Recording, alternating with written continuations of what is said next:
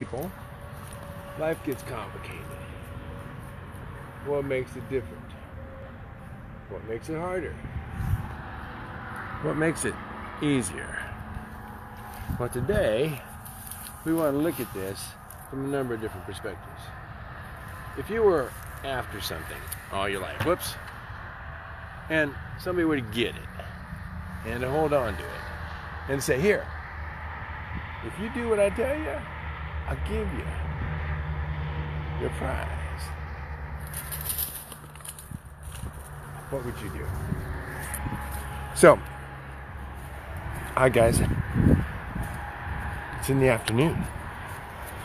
Much is happening, even though it looks like nothing. Chickens are running around. Dog is playing chase. And in the world of my fictional story about the United States and how we went through all this period of time, it's a fictional story, mind you, about how they try to silence everybody, how they try to censor them in these critical times. And it's much, much more important that we all get to talk, to communicate, to find peace amongst us. I say we, that would be the W I I of it, not the W E we um, in Congress or the W E we in China. There's different we's.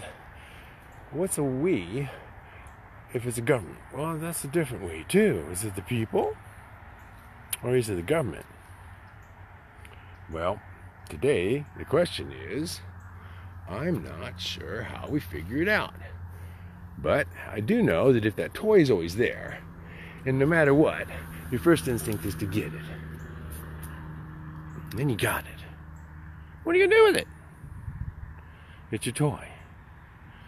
What's that mean? Well, in part, it's what you have that can be used to make you do what somebody wants you to do. Now, he has that toy. Is he making me do what he wants me to do with the toy, which is to grab it and throw it? Or am I going to make him do what I want him to do by being patient and then using the toy? Is he, is he focused? Now, if you, the public, are wanting your toy, $2,000 check. Rocky, watch. This is a $2,000 check. Woo! He will climb a mountain, a cliff to get that. Sometimes he goes over cactus, sometimes he goes over thorns. Sometimes he's not being very smart about it.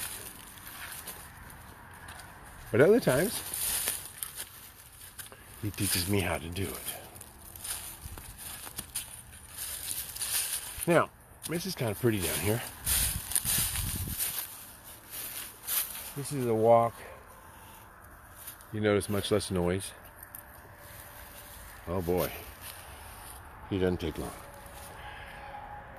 Now, you know I hate to be political. Hey Tina, how you doing?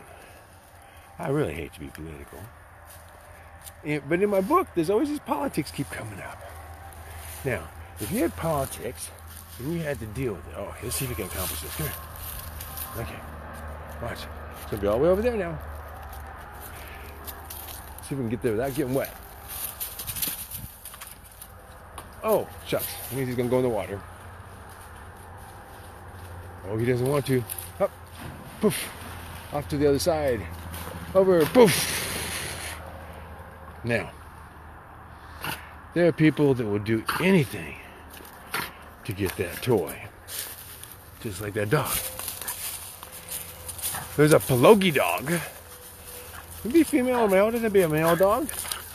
I hear there's a Palogi dog. Just chomping at the bit for blood. Wonder. Just do anything. There's all sorts kind of dogs. Oh boy, look at that. You can't see me because it's light. And it's not sunlight, that's clouds. Now, in this world of Wibblry and Wub, what I understand right now is that we got a problem. You can see in that story, I got to this kind of an impasse. And as I'm writing it, and I'm looking for answers, you know, and I, I'm trying to figure out what. What's up? You get kayak up here, by the way. This is part of my kayak bayous I made. What on earth causes people to want to create so much hate, so much divisiveness? By lying and saying they're in a bathroom, being attacked in a building when, you know, in fact, they weren't even in. Uh, how about there no facts to that? In the story I'm writing, there's this, there's this, this crazy woman that does this just for a character. You have to have archetypes. What's an archetype? Somebody wants attention so bad, they'll pretend whatever it takes to get your attention. There are people like that in the world. I use them as what I call archetypes. See, writers have archetypes. How do you get an archetype? For example, a lying, cheating person that just takes advantage of everybody um, at any expense to anybody else, including his own family, to get ahead or her family well, that's a rotten, cheating, just absolutely horrific archetype. Now, you can put different names on a person or archetype. You can call them ALC, you can call them all sorts of things that, would fit that archetype. And it wouldn't necessarily be that person, it's just an archetype that they fit into very well, you know. In the book, there's names like Palogi and, and such, and, and they're those kind of archetypes. Okay. And they would take and throw your toy to places that you would go to war to get it. They would send your son to war to get their toys, which they're doing. Did you know we went back into Syria? Did you know that Russia's getting real upset with us? Even though we got supposedly a new thing signed. Did you know China? They're kind of taking advantage of the situation a little bit with Taiwan in that book I'm writing, that is. Not in reality. And don't you all think for a second I'm out there trying to bug those censors talking about reality. Oh no, how do you know? I'm just wandering over here, babbling about stuff that's not true in a book I'm going to write in the future, and did, and do, and will. Hmm, how do you separate that? What is future? What is past? How do you tell it? Past can be a lot of things, can it, AO? Whatever. But I'm not talking about facts, I'm talking about fantasy. Kind of like we're living these days. So, let's just suppose that that Burma, that country over there where they had an election fraud and they just went back a year and changed later and took that president out. And the military is going to kind of hold peace for maybe a year while everything's worked out. That way, China won't be given such a great deal on everything like that woman who was in charge seemed to be doing ever since that false election. In the story I'm writing, of course. Not the real thing. That's the ship of salvage dreams again. So, as we watch in my story how this next chapter develops, I do want to tell you, this writing is taking a lot of time, man. I'm not getting a lot of work done. Putting it up on YouTube.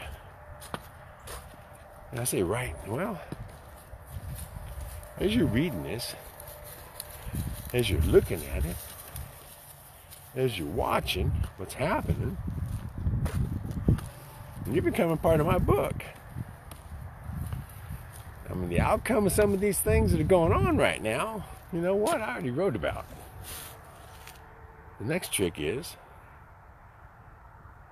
will it turn out the way it did in that book years from now? I'm telling you, there is no telling what the future brings, is there? Unless we all get involved. We. W I I. You know that we. That's the we that Darby talks about. where a world union of beings gets together and decides, hey, wait a minute, that is not the truth. We don't want to live in a lie. We don't live in a fantasy book that some dude, some crazy dude wrote. No, we want to live in a reality where we got to vote. Not what he wrote or what some computer overseas wrote for a number, the number of votes.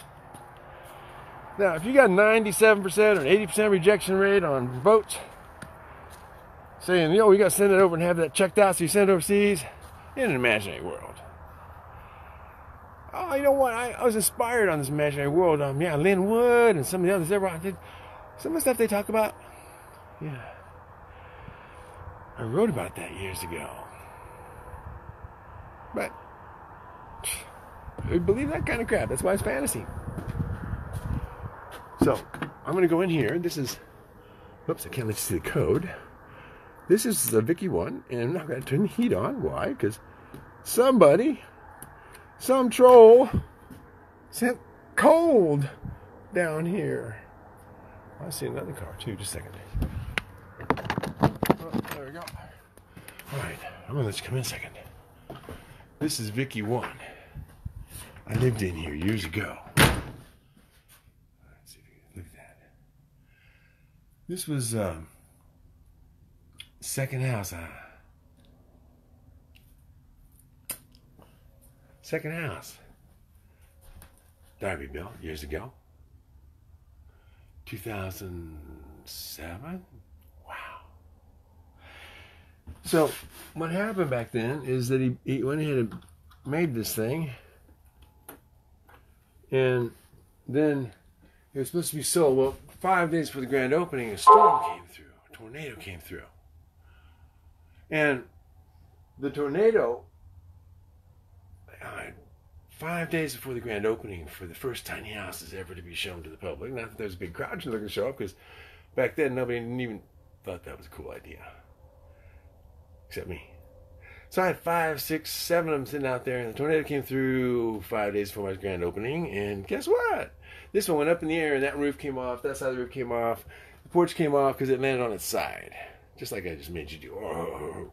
So that was one of the houses out of seven houses, five of them were not anywhere near close to where they were the night before.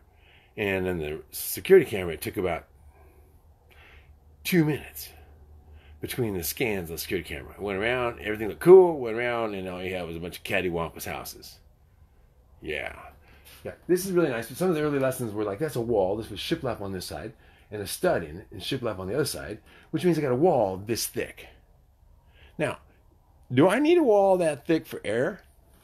What's that air pocket good for? Nothing. So what am I going to do with it? Um, well, actually, nothing. That's the problem. Oh, you can't see anything on this. Here's a window. That's uh, called a spider web bevel glass, leaded. And that's so that we could go ahead and uh, light up behind the sink. Now, this was a very early basic, basic style. Because I thought, well, what do you got? Hey, got a bathroom, and you're gonna have a kitchen, and you're gonna have a shower, and a commode. Can you see in there?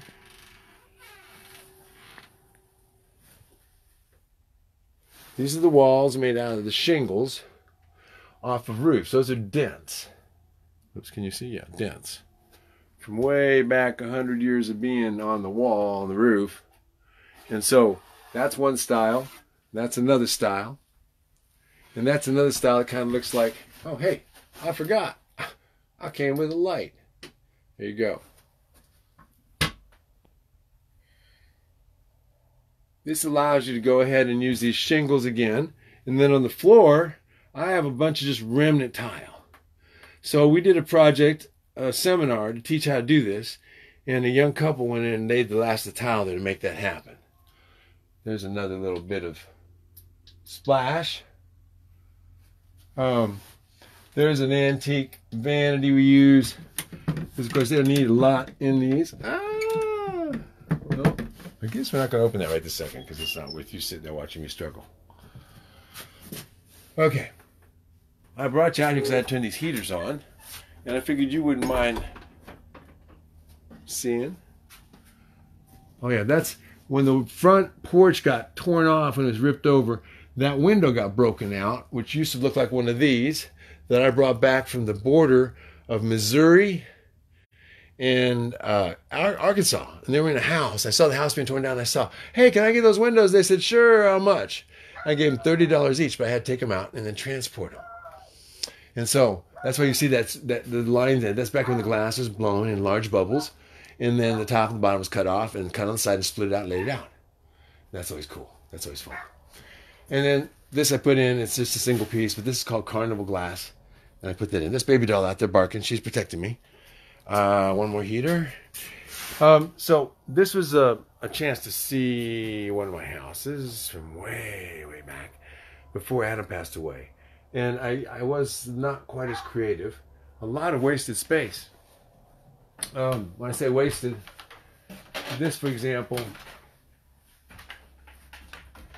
is the bed you get to sleep in.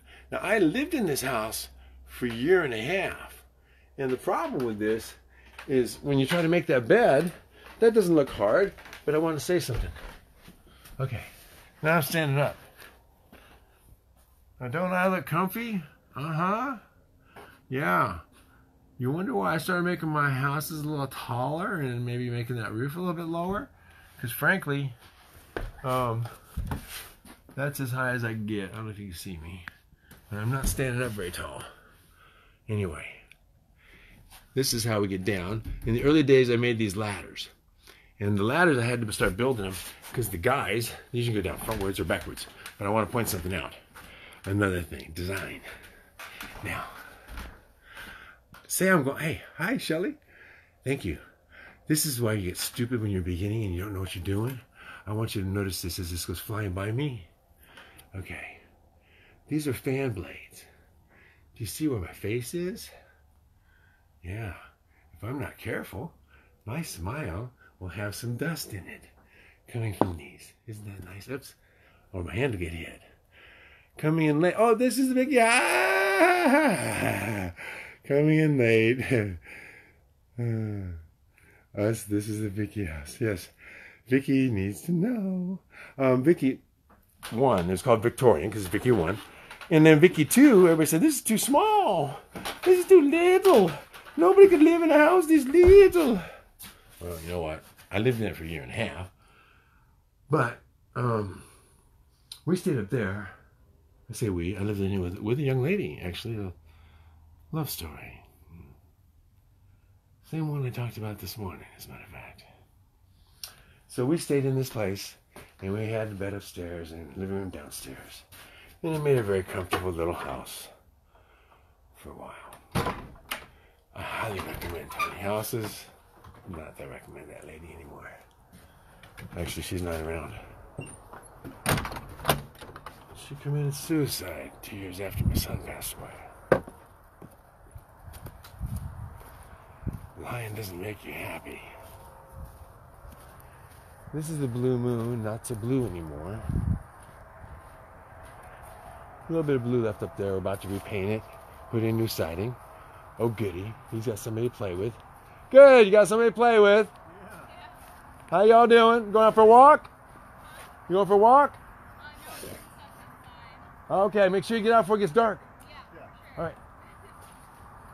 Some new people coming. They're staying in the kid for the night. Ah, one of my favorites. That's that $43 a pint. Ah, pint. Organic linseed oil paint from Sweden and it sells for that much because you have to import it. Nobody will make it in the United States for some reason.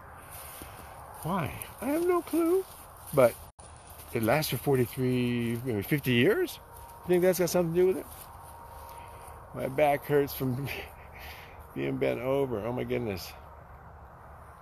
When your back hurts like that, first get your feet, get your shoes off, get your feet on the ground.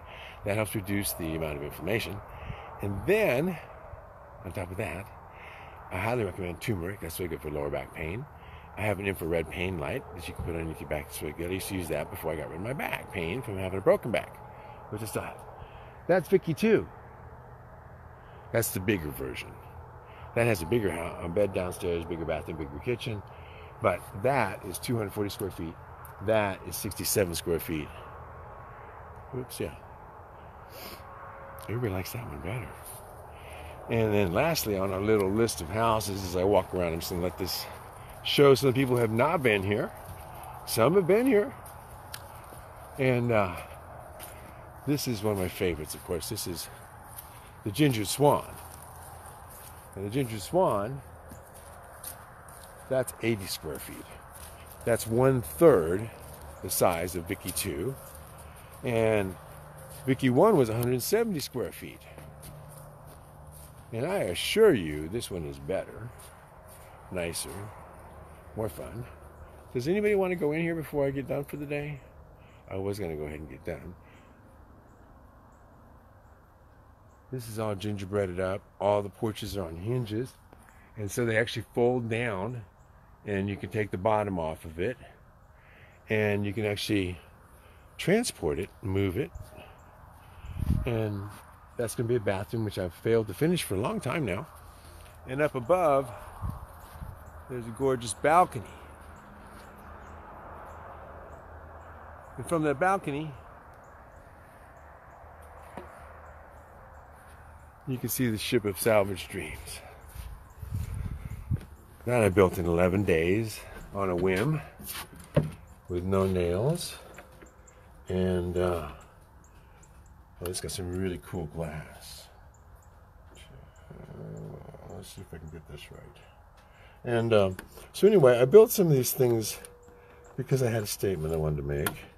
And by doing that, I was able to go ahead and construct something nobody else could make.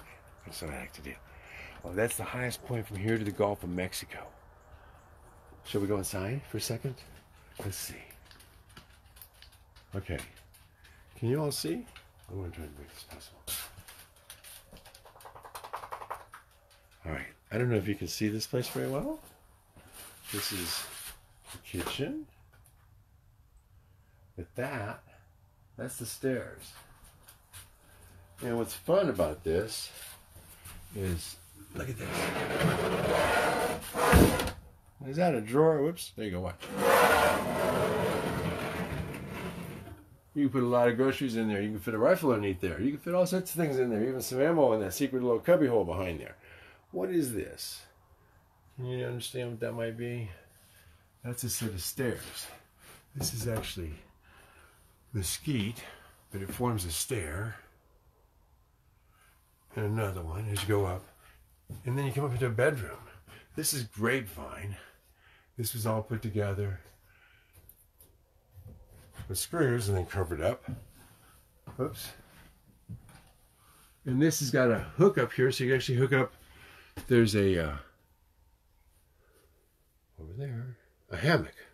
So besides the bed, beautiful setting, you also have out here, and this takes you out. Oops.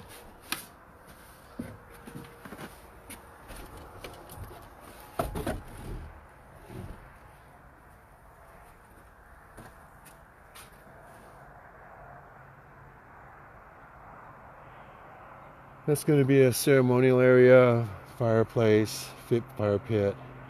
Pictures get taken a lot. We have that's the bridge over the over untroubled waters. I'm finishing up. There's the chickens. When everybody comes, it gets to hold a chicken if you've never done it. And some of the ponds that go all the way around. We eventually go down to the kayak trails and other places. Okay. Hey, JC, welcome back. Tanya. What, this one here, Tanya? This is about um, 80 square feet downstairs. We'll have a bathroom out on the porch, on the deck. And so the upstairs is maybe 80 square feet. No, it's not even that much. I have the stair taken out of it. So maybe 60. And this is one little air conditioner, cools you. One little tiny heater, whoops, heater will heat you. And then you can go outside, or you can go down. Oh, that's the stairwell, by the way. Can you see this? There you go. So you go One, two. See that? You got a railing.